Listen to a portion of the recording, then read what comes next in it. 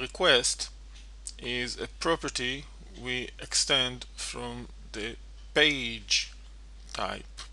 And when we try to access request we get uh, the reference for the HTTP request object that represents the request.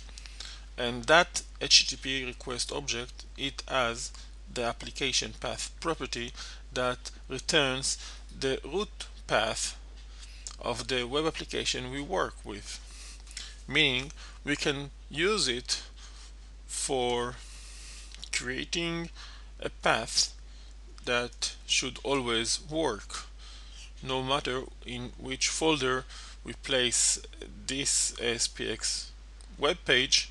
We can expect this link to be correct.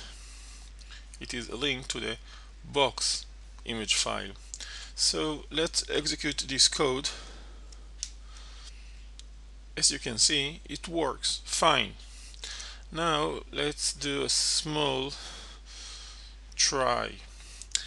Let's create a new folder. Let's name it with something. And then let's take this web page and move it into the something folder. Now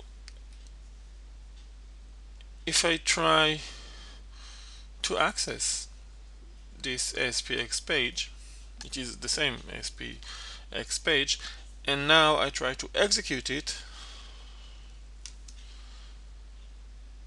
As you can see the image is displayed properly meaning that if we check this code we can understand that this code continues to work because the assigned value to image URL property is the same URL address no matter where we keep the